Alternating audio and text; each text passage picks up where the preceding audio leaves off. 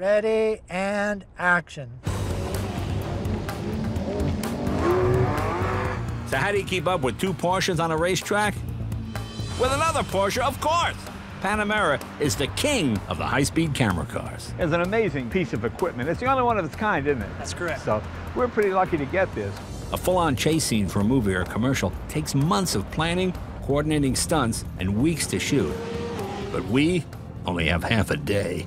But there are a lot of cool things you can do in just a few hours, especially when you have a director like Jeff, and he's got a Porsche with a Gemini crane. The versatility of what you can do in this car is so amazing because I can have the camera 360 degrees around this. So it's working out where the arm is, how things cross across, really are a fun thing to coordinate.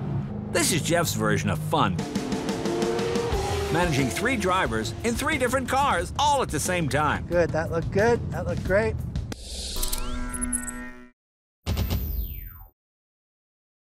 Hey CNBC fans, thanks for checking out our YouTube channel. Here you'll find videos from all your favorite CNBC shows. Be sure to subscribe by clicking right here. Click on the videos around me and watch the latest from CNBC. Thanks for watching.